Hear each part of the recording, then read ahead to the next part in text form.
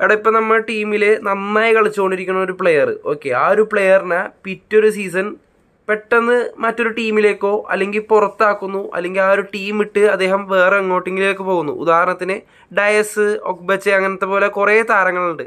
അപ്പോൾ അതുപോലെ Blasters നടത്തിയൊരു waste decision ഈ സൈനിങ്ങിന്റെ കാര്യത്തിൽ സോറി താരങ്ങളെ പുറത്താക്കിയ കാര്യത്തിൽ ബ്ലാസ്റ്റേഴ്സ് നടത്തിയ വേസ്റ്റ് ഡിസിഷൻ ഏതാ? ഡയസിന്റെ കാര്യം. കാരണം എന്താ വെച്ചാൽ ബ്ലാസ്റ്റേഴ്സിൽ നിന്നും ഡയസ് പോയിന്റ് ശേഷം ഇപ്പൊ മുംബൈ സിറ്റി എഫ് സിയിൽ നല്ല രീതിയിൽ തന്നെ കളിച്ചു. ബ്ലാസ്റ്റേഴ്സിൽ നിൽക്കാൻ ഡയസിന് നല്ല രീതിയിൽ ആഗ്രഹം ഉണ്ടായിരുന്നു എന്ന കാര്യം അദ്ദേഹം ടൈംസ് ഓഫ് ഇന്ത്യക്കൊക്കെ ഇൻസ്റ്റാഗ്രാമിൽ തന്നെ ഇട്ടിട്ടുണ്ട്. ഇൻസ്റ്റിലൊക്കെ പറഞ്ഞതാണ്.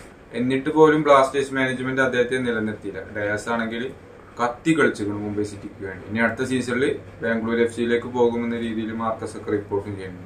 ഇനി അവിടെ എന്താകും നമുക്ക് കണ്ടു തന്നെ. നിനക്കോ? എന്റെ ഓപ്പച്ച് കാരണം നമുക്കറിയാം എൽക്കോ പോയപ്പോ എൽക്കോയുടെ ഒരു ടാറ്റിക്സിൽ അദ്ദേഹം വർക്ക്ഔട്ട് ആവുന്ന ഒരു ചിന്ത എല്ലാവർക്കും ഉണ്ടായിരുന്നു. കാരണം നോർത്ത് ഈസ്റ്റ് എൽക്കോയുടെ ആയിരുന്നു ബ്ലാസ്റ്റേഴ്സ് എൽക്കോയുടെ ആയിരുന്നു. സോ എൽക്കോ വിടുവാണെങ്കിൽ ഒബച്ചൻ പൊക്കോട്ടെ എന്ന് അന്ന് ഞാൻ കുറെ കേട്ടിട്ടുണ്ട്. ബട്ട് അദ്ദേഹം മണാലോടെ കളിച്ച് പിന്നെ സെർജിയോ ലൊബേറോടെ മുംബൈ. ബട്ട് അവിടെയൊക്കെ കൺസിസ്റ്റന്റ് ആയിരുന്നു. നമുക്കറിയാം നോർത്ത് ഈസ്റ്റിന് ഓൾ ടൈം ടോപ്പ് സ്കോറർ ആയിരുന്നു. ബ്ലാസ്റ്റേഴ്സിന്റെ ആയിരുന്നു ഇപ്പം ഡിമി കയറി.